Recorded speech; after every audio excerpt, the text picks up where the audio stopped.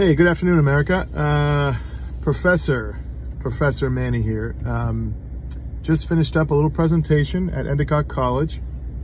Um, thank you, Sarah, for inviting me, and thank you, Rachel Ryder, for setting this up. I'll leave it simple, short and sweet, which is rare for me. Uh, yes, I am wearing a scarf. Again, I like my neck warm. Um, I would give myself probably a B plus, A minus on my presentation but the future of the, of the design industry is promising. Uh, these were freshmen. They were engaging. They were kind. They laughed at my jokes, um, even when the jokes weren't worthy of a good laugh. And um, they were great. I'm, i was so impressed. I can't wait to see where um, where these students end up.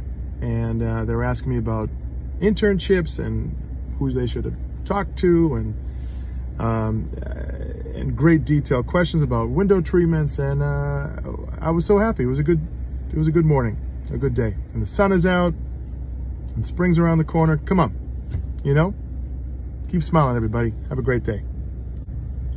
It wouldn't be uh, on the road with Manny without an update, uh, an update or a follow-up or an adjustment or something like that. Uh, I forgot to mention, thank you, Olivia, uh, at the workroom for preparing this presentation. Uh, you did an amazing job. Uh, her attention to detail and her ability to make a presentation like that uh, was awesome. As she makes the workroom look good every day, like everybody does at that workroom, at our workroom, at my workroom.